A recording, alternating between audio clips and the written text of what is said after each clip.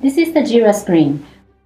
When WBS Gantt chart is installed, you can see it on the header here.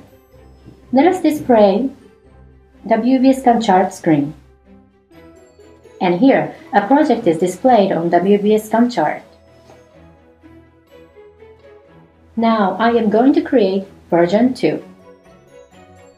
As you can see, a version is easily created by project being right-clicked. Next, create tasks as tickets. As this is WBS, let us create tickets that are broken down.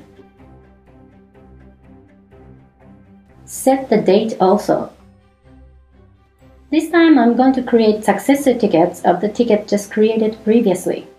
As shown on the screen, a schedule has been created with business days automatically considered. Let's create 4 tickets for total.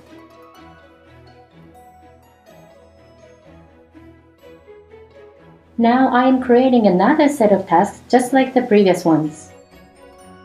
You can copy the schedule including child tickets. Copying has been done, however, the composition of the new schedule is different from that of the original schedule. Even so, you can change the schedule by dragging and dropping tickets. Dependency can also be set after tickets are created. In Gantt chart screen, link the right side of the Gantt bar of the predecessor ticket and the left side of the Gantt bar of the successor ticket. Ticket names can be changed. As just shown, you can create tickets as checking visually.